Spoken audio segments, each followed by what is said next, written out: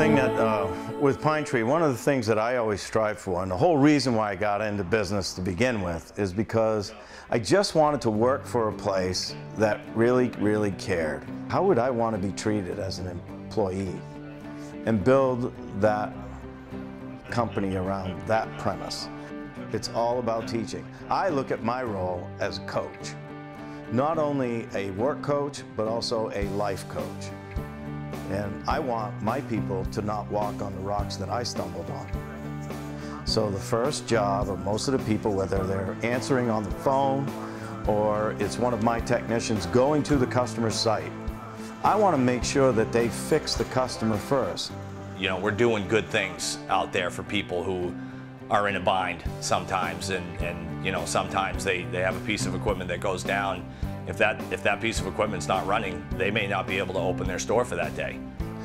We would hire skilled technicians anytime. We will hire skilled technicians anytime.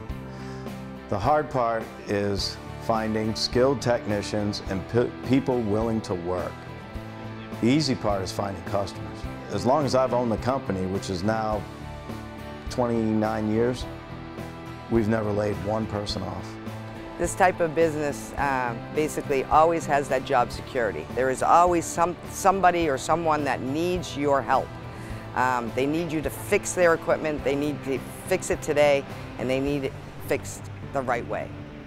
This is a world that I never knew existed, and I cooked in the kitchen. All I did was put a sign, do not use.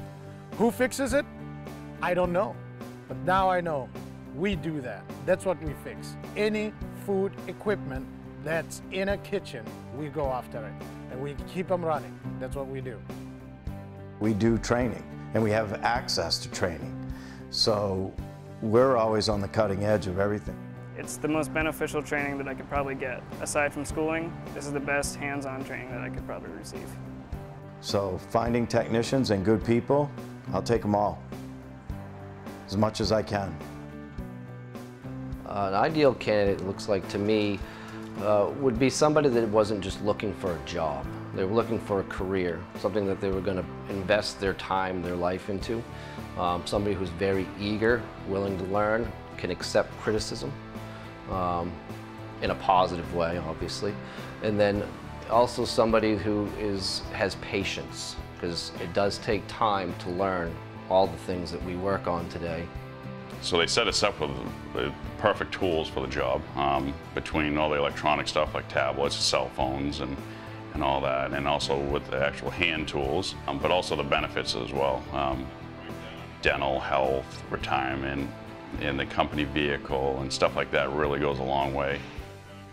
Probably the most important thing for somebody looking to come to work for Pine Tree Food Equipment would be the fact that we are a family here. We treat each other like brothers and sisters and, you know, we work together and we share our company financials, we share how much money we made for the month, we I mean, everything's on the table. So th these people, they know they're working for a team.